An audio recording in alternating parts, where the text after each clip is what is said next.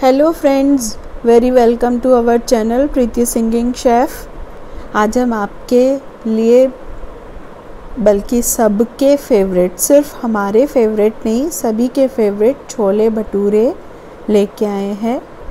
ये बहुत ही स्पेशल होली में सबको पसंद आने वाले और दही बड़े के साथ। तो चलिए आइए, इसकी हम प्रिपरेशन करते हैं। यहाँ पे सबसे पहले मैंने छोले छः से सात घंटे के लिए भिगोने के लिए रखे थे और अब ये अच्छे से फूल चुके हैं। अब हम इसमें एक चम्मच नमक डालेंगे और ये एक चम्मच और डाल रहे हैं नमक इसमें और इसके बाद हम इसको छः से सात विसिल में चढ़ा देते हैं। छः से सात विसिल लेंगे हम और इसको कुकर में चढ़ा देते हैं। अब आइए इसकी हम प्रिपरेशन करते हैं। यहाँ पे मैंने दो प्याज ली हैं, लहसुन की आठ दस कलियाँ ली हैं, तीन मैंने हरी मिर्च ली हैं और यहाँ पे एक मीडियम साइज़ का टमाटर लिया है और ये गरम मसाले लिए हैं जिसमें मैंने दालचीनी और इलायची, बड़ी इलायची, छोटी इलायची और जवित्री, ये सब डाला है इसमें। अब ये हम, ये प्याज और टमाटर को पीस लेंगे।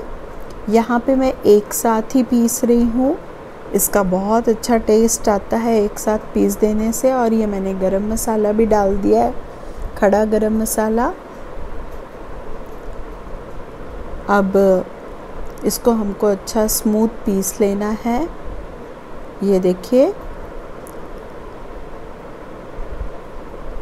और यहाँ पे मैंने सरसों का तेल यूज़ किया है फ्रेंड और अब मैं इसमें जीरे और राई डाल रही हूँ आधा आधा चम्मच। और उसके बाद मैंने ये जो मसाला अभी पीस के रखा है, वो मसाला मैंने इसमें डाल दिया है। अब हम इसको अच्छे से भून लेंगे। इसको हम पिंक होने तक भूनेंगे। आप देखेंगे कि ऑयल छोड़ देता है ये अपने आप से। और इसमें हमने बहुत कम ऑयल का यूज़ किया है।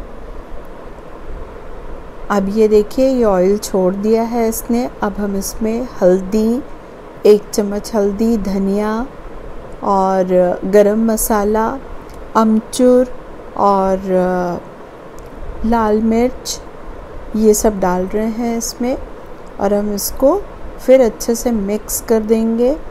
और यहाँ पे मैंने फ्रेंड्स दही भी डाला है, दो चम्मच के करीब मैंने दही डाला है, जिससे इसका टेस्ट बहुत इम्प्रूव हो जाता है। अब हम इसको अच्छे से छोले को इसमें मिक्स कर लेंगे, खूब अच्छे से हम इसको चला लेंगे और हम इसमें नमक ऐड करेंगे।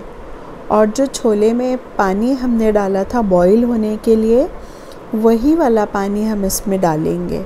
तो फ्रेंड्स हमारे छोले बन के बिल्कुल तैयार हैं। अब यहाँ पे मैं ये भटूरे का आपको बता रही हूँ। ये थोड़ा सा डिफरेंट मेथड है। यहाँ पे मैंने आ, मैदा लिया है एक कटोरी और मैंने ये नमक डाला है इसमें एक चम्मच के करीब। और ये मैं पिसी हुई शुगर डाल रही हूँ इसमें। ये भी दो चम्मच के करीब मैंने शुगर डाली है इसमें और आधी कटोरी मैं इसमें रवा ऐड कर रही हूँ। अब हम इसमें, इसको हम अच्छे से मिक्स कर लेंगे। मिक्स करने के बाद, ये देखिए हमको बहुत अच्छे से इसको मिक्स कर लेना है। मिक्स करने के बाद, अब हम इसमें ऑयल ऐड करेंगे। हम इसमें बहुत ज़्यादा ऑयल नहीं डालेंगे, क्योंकि अभी हम इसमें मिल्क और दही दोनों चीज़ें डाल रहे हैं, इसलिए हमको बहुत ज़्यादा इसमें ऑयल नहीं यूज़ करना है। ये देखिए, यहाँ पे मैंने ये दो चम्मच के करीब बड़ी चम्मच दही डाल दिया है और एक कप मैं मिल्क यूज़ कर रही हूँ यहाँ पे। अब हम इसको अच्छे से मिक्स कर लेंगे और इसका हम मुलायम सा आटा गूँथ लेंगे। अब हम इसको आटे को अच्छे से मसल लेंगे और हम इसमें ऑयल लगा के, थोड़ा सा हाथ में ऑयल लगा के इसको ढक के रख देंगे। अब हमने इसको आधे घंटे के लिए ढक के रख दिया था। अब देखिए ये कितना सॉफ्ट हो चुका है ये आटा। अब ये आप देखेंगे, बहुत ही अच्छे से ये भटूरे बन रहे हैं। अब ये फ्रेंड्स भटूरे एकदम आपको लाइट लगेंगे, जब ये आप खाएँगे तो हैवी नहीं लगेंगे ये, क्योंकि सिर्फ़ इसमें मैदा अकेला नहीं है, इसमें और भी बहुत सारी चीज़ें डाली हैं, जिसकी वजह से ये बहुत खाने में हल्के लगते हैं। अब ये देखिए, ये इतने अच्छे से ये फूल रहे हैं, हम इसको पलट देते हैं। हमको हल्का सा इसको पिंक होने तक बस इसको हमको तलना है। ये देखिए।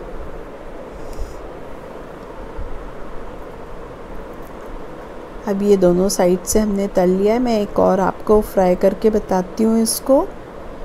और ये बिल्कुल भी ऑयल फ्री है। बिल्कुल ऑयल नहीं सोखता है ये ज़रा सा भी। और अभी मैं दिखाऊँगी आपको। और एकदम लाइट है ये खाने में। तो आप ये दो की जगह तीन भी खा सकते हैं। इतने अच्छे, हल्के लगते हैं ये भटूरे। तो फ्रेंड्स, ये देखिए, ये भी बिल्कुल बन के रेडी है और आप फटाफट किचन में जाइए और उसकी प्रिपरेशन करिए और बना के बताइए। कमेंट बॉक्स में कमेंट करना बिल्कुल मत भूलिए और मेरा चैनल अभी तक यदि आपने सब्सक्राइब नहीं किया है तो प्लीज़ इसको लाइक सब्सक्राइब एंड शेयर ज़रूर कीजिए। And do not forget to press bell icon और इन्जॉय करिए फ्रेंड्स दही बड़े, chole bhature. Thank you friends thank you for watching my channel